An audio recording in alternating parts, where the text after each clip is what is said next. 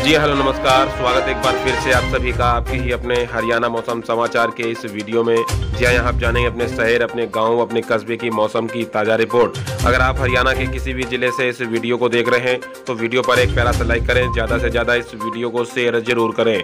अगर आप हरियाणा ज़िले की मौसम की ताज़ा अपडेट पाना चाहते हैं तो प्लीज़ टीआर न्यूज़ को सब्सक्राइब करके बेलाइकन को प्रेस कर लें, ताकि आने वाली सभी लेटेस्ट वीडियो सबसे पहले मिले।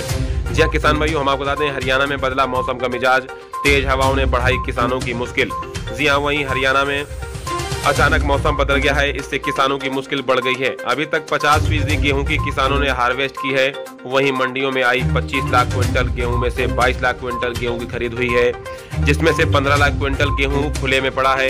इस तरह का मौसम रहता है तो उठान में तेज़ी नहीं आती तो किसानों मंडियों में आया हुआ गेहूँ भी खराब हो सकता है। हद तो यह है कि व्यापारियों की मांग के बाद भी उठान कार्य में तेज़ी नहीं आई है।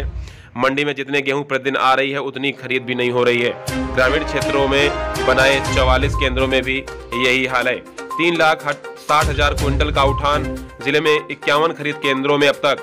22 लाख क्विंटल गेहूँ की खरीद हुई है, जिसमें से फ़ूड सप्लाई द्वारा छह लाख दस हज़ार क्विंटल, हैफेड ने बारह लाख क्विंटल, वहीं एच ने तीन लाख क्विंटल व एफ़ ने नब्बे हज़ार क्विंटल की खरीद की है। ज़िले में अब तक तीन लाख पचास हज़ार क्विंटल गेहूँ की फ़सल का उठान किया जा चुका है।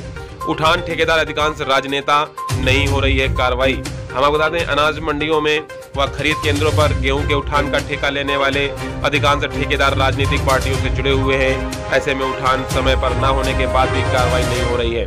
कई जगह तो मजदूरों ने उठान ठेकेदारों के खिलाफ प्रदर्शन भी किया, लेकिन किसी प्रकार की कार्रवाई नहीं हुई। प्रवासी कामगार न आने से किसानों को आ रही परेशानी। इस बार ज़िले में प्रवासी कामगार बहुत कम आए ऐसे में गेहूँ की कटाई व निकालने में बड़ी परेशानी आ रही है। वहीं तूड़ी की भविष्य में होने वाली परेशानी को देखते हुए किसान कंबाइन से गेहूँ निकालने से परहेज कर रहे हैं। किसान आखिर तक प्रवासी कामगारों का इंतज़ार कर रहे हैं। 16 अप्रैल से मौसम शुष्क रहेगा। मौसम विभाग के अनुसार 16 अप्रैल से मौसम शुष्क रहेगा, जो 19 तक बना रहेगा। इसके बाद मौसम विभाग की ओर से अधिकारी फिर से मौसम का पूर्वानुमान जारी करेंगे।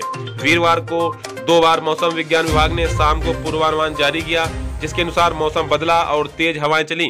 फतेहाबाद ज़िले में शाम शाम सवा सात बजे कहीं पर बारिश नहीं हुई। हालाँकि शाम को मौसम बदलने से एक बार बड़ा हुआ, न्यूनतम तापमान भी कम हो गया और 20 डिग्री पर पहुँच गया। वहीं अधिकार, अधिकतम तापमान उनतालीस डिग्री सेल्सियस रहा। मौसम वैज्ञानिकों के अनुसार 19 अप्रैल तक मौसम शुष्क रहेगा। इस दौरान तापमान बढ़ने का, वहीं मौसम विज्ञान विभाग हिसार किसानों को लगातार सही समय पर मौसम का पूर्वानुमान की जानकारी दे रहा है। वीरवार को मौसम की जानकारी किसानों को समय पर दी, आगे भी प्रयास जारी रहेगा। जी हाँ ये थी हरियाणा से जुड़ी मौसम की ताज़ा अपडेट। मिलते हैं आप सभी को अगले वीडियो में, तब तक टी आर न्यूज़ के साथ बने रहिएगा। चैनल को सब्सक्राइब करके बेल आइकन को प्रेस कर लें, ताकि आने वाली सभी लेटेस्ट वीडियो सबसे पहले मिले। जी हाँ जय हिंद, जय भारत।